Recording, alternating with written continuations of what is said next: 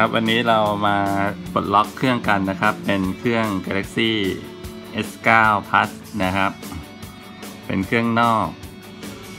เครื่องนอกจะมีอาการใส่ซิมแล้วไม่ยอมให้ใช้ซิมนะครับ จะขึ้นข้อความขึ้นมา ขึ้นว่าโปรดใส่รหัสพินปลดล็อกเครือข่ายนะครับ ลักษณะอย่างนี้นะครับถ้าเรากดปฏิเสธ ก็มันก็จะสามารถเข้าเครื่องได้ แต่ว่าเป็นแค่ iPod เล่นเฉยๆนะครับผมอะเพราะฉะนั้นการแก้ของเราเนี่ยเราต้องใส่โค้ดนะครับนะโค้ดมันจะถามทุกครั้งตอนปิดและเปิดเครื่องใหม่นะครับ ซึ่งรหัสโค้ดตัวนี้เนี่ยมันจะมีอยู่ 2 โค้ดนะครับ ชื่อว่า pin code กับ PUK หรือว่า PUK code นั่นเองนะครับ pin code จะถาม เมื่อใส่ซิมครั้งแรกเป็นซิมของค่ายอื่นนะครับ เครือข่ายอื่น แต่ถ้าเรากดพินโค้ดผิดเยอะๆนะครับ มันจะขึ้นว่าพินถูกบล็อกอย่างนี้ ให้ใส่รหัสซิม PUK แทนนะลักษณะนี้จึงต้องปลดอยู่ 2 จังหวะนะครับ คือใส่รหัส PUK 1สอน แล้วก็ค่อยมาใส่รหัสพินนะครับ ซึ่งตัวนี้เนี่ย ห้ามกดมั่วนะครับ ถ้ากดมั่วไป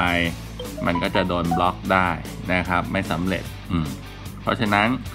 ต้องเรียกว่าเจาะรหัสแฮกเกอร์แล้วให้ได้ PUK code ขึ้นมานะครับ ซึ่ง PUK code ก็จะเป็นของเครื่องขายเครื่องมันนะ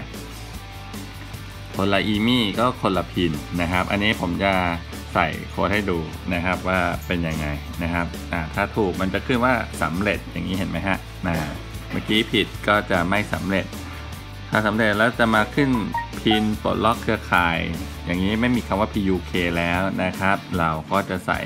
เลขพินปลดล็อกเครือข่ายอีกอันหนึ่งแต่ถ้าเราใส่ผิดอีกนะมันก็จะบอกว่าไม่สำเร็จ ถ้าใส่ผิดเยอะๆหลาย ๆ ครั้งก็จะเป็นปุ๊กโค้ดและนั่นเองอย่างนี้นะครับ มาเป็นบล็อกอีกแล้วเห็นไหมฮะอ่าเพราะฉะนั้นเราต้องใส่ให้ถูกทั้ง 2 ตัวเลยนะครับ ทั้งปุ๊กโค้ดนะ